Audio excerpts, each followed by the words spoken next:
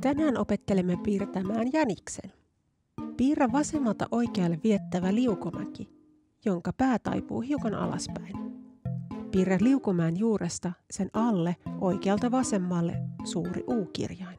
Vie kynä U-kirjaimen vasempaan reunaan ja kiepauta puolta pienempi U-kirjain ylösalaisin sen eteen.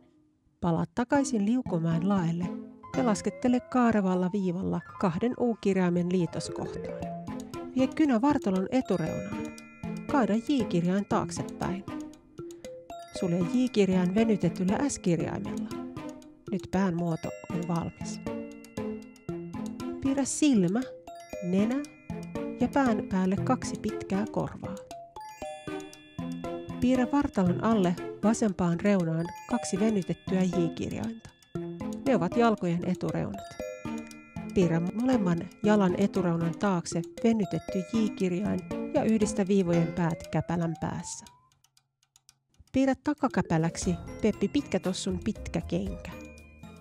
Toista kenkää näkyy vähän etumaisen takaa.